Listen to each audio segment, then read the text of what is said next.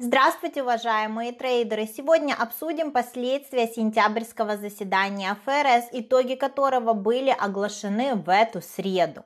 Стоит отметить, что пара евро-доллар на этой неделе обновила 20-летний ценовой минимум, обозначившись в области 97 фигуры. Последний раз цена находилась на таких низах в начале 2002 года. Благодаря Федрезерву южный тренд получил свое развитие. Нижняя граница ценового диапазона в очередной раз двинулась, отдаляясь еще дальше от уровня паритета. В целом неделя завершается в пользу доллара и не только в паре с евро, но и по всему рынку.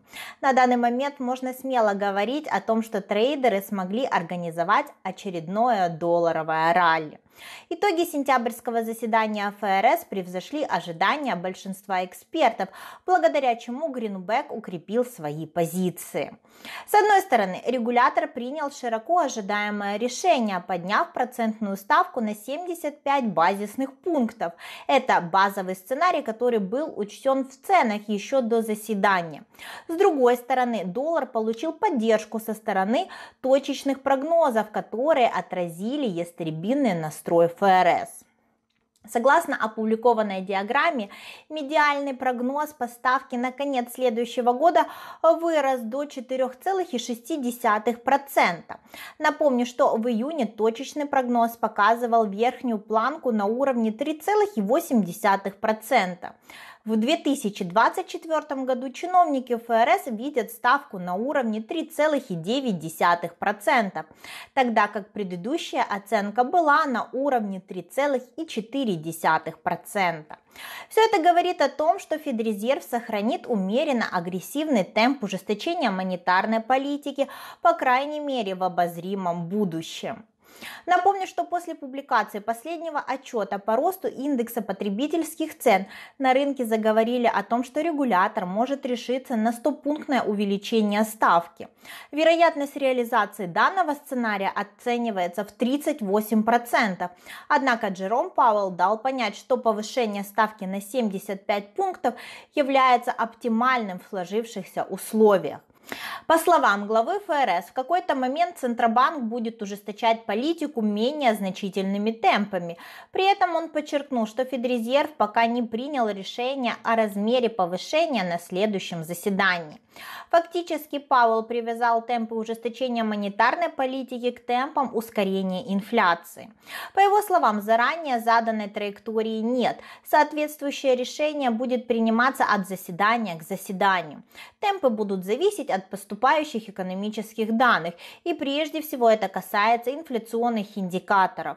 Глава ФРС подчеркнул, что Центробанк хочет увидеть убедительные доказательства того, что инфляция начинает отстывать. Но, судя по последним данным, признаков остывания инфляции не наблюдается. Если следующий инфляционный отчет выйдет в зеленой зоне, можно не сомневаться в том, что Федрезерв в ноябре повысит ставку снова на 75 пунктов. При этом Пауэлл повторил основные тезисы, озвученные им на экономическом симпозиуме в Джексон-Холле.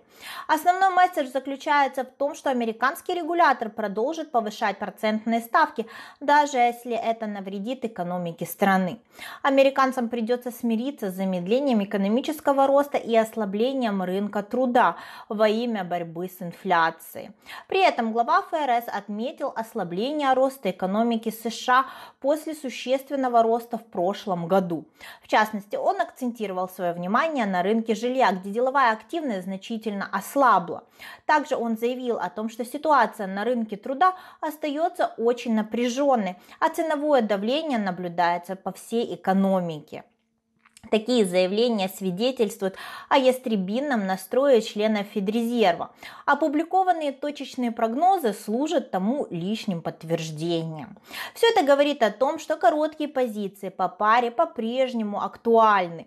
Любые коррекционные северные откаты целесообразно использовать как повод для захода в продажи.